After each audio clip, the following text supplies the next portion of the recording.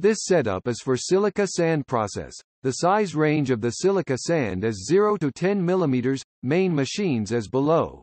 Hopper plus electromagnetic feeder, belt conveyor, rotary trommel screen, plus 0.5 mm to ball mill, 0 minus 0.5 mm to spiral sand wash machine, spiral chute, slurry pump, wet plate magnetic separator, dewatering screen. The hopper plus electromagnetic feeder for feeding materials to the rotary trommel screen automatically, you only need to load the materials to the hopper by truck or excavator or else as you want. The rotary trommel screen is for washing the silica sand and separating the size 0 to 0.5 mm to the spiral sand wash machine, plus 0.5 mm to the ball mill.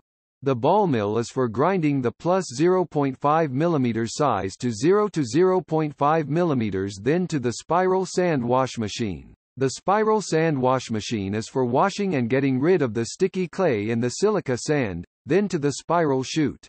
The slurry pump transports the clean materials to the spiral chute to separate the silica sand from other heavy materials. The wet plate magnetic separator is for separating the magnetic minerals in the silica sand, making the silica sand more purity. The dewatering screen is for drying the silica sand and recycling the water for the machines. The capacity for this washing plant can be customized as per request such as 10 TPH, 50 TPH, 100 TPH, etc. Notes. If the materials are not much sticky, will not need the spiral sand wash machine, and the quantity of the machines just for your reference, will depend on your capacity. The spiral chute will normally make two stages, the middle concentrate from the first stage spiral chute will to the second stage to concentrate again, that will make sure a higher grade and also release the workload of the magnetic separator.